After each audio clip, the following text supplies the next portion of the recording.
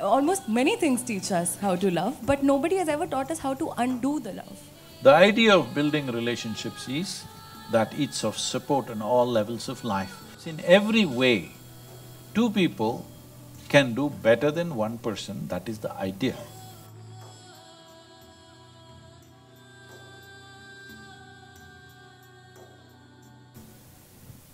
So, moving on. My question is uh, very relatable to the audience as well. Heartbreak is something that um, I think Uh, who broke everybody. your heart? So, heartbreak is something that um, almost everybody goes through, and uh, especially at some point of their time. Oh. And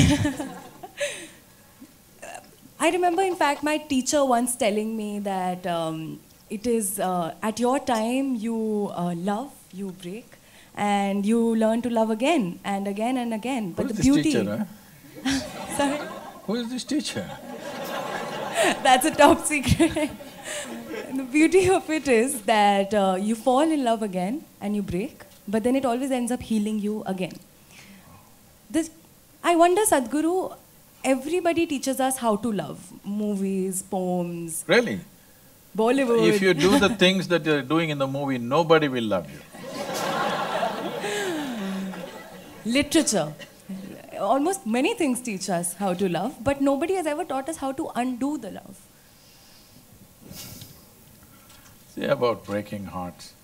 Uh, I don't have a broken heart because I gave away my heart very early on in my life, so nobody can break it, you know. I gave it away. You should do that, then nobody can break it. See, we must understand this. What is a love affair? Is it okay? Mechanics of love affair, we can look at it. I'm not trying to de-romanticize everything. It's just this. Uh, let's say you were ten years of age. You looked around, the world was quite normal. Hello? Was it normal when you were ten, twelve? It was normal.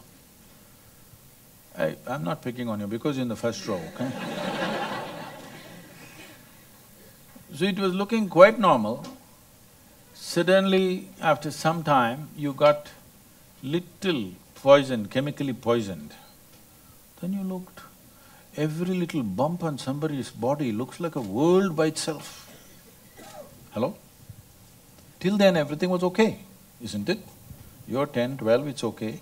You became thirteen and you look like this, suddenly this is a world by itself. The neighborhood squawny girl who didn't mean a damn thing to you, suddenly she's the focus, she's the apple of your eye. Yes? so this is because your intelligence has been hijacked by your hormones. So it is making funny things happen. It is making you believe all kinds of things. When you look back and say you'll feel stupid, but it's okay. There's nothing wrong about it. But it's very important that we understand what's happening to us. Otherwise, we'll do idiotic things that we may regret later, you know.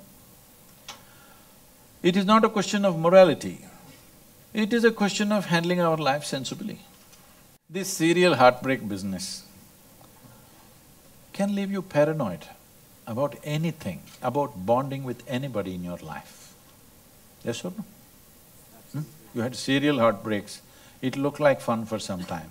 After some time, you just don't actually trust anybody in your life because another human being is a problem always. Only when our emotions allow you to cross that problem, in some way they get included.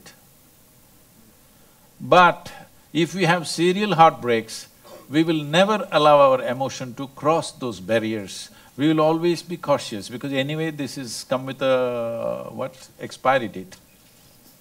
Huh? When people come with an expiry date, yes, there is an expiry date for all of us, but relationships, the idea of building relationships is that it's of support on all levels of life so that two people, that means two brains and two bodies can do better than one in many ways, in various aspects of life. In profession, in domestic situation, in life, in companionship, in emotion, in arranging and organizing our lives, in every way, two people can do better than one person, that is the idea. And of course, nature is pushing us together because nature doesn't care about your love affair, it just wants you to reproduce. Yes? You think Mother Nature is worried whether you love or you don't love, it wants you to reproduce. But we've overdone that a little bit. There's no hurry, we don't have to yield to that. Hello? Yes If you were a tiger, I would encourage you, please reproduce, reproduce, because it's an endangered species. Human beings definitely not endangered, we are endangering everything. so, reproduction is not the purpose right now, we have kept it aside. But nature's push is towards that. But we have emotional needs, physical needs, psychological needs, maybe financial and social needs, variety of needs, to conduct these needs in a dignified way, to conduct these needs in a… See, once you come as a human being, you can't do things, though they're the same things what the animals do, but we would like to do it more gracefully, consciously. Whether we eat or we copulate or we sleep, we like to do it little more aesthetically right. That's an important thing. For that, we need the cooperation of another person who is also somehow congruent to us. Every two days, if you have heartbreaks and going on, well, uh, you will see the trouble of that.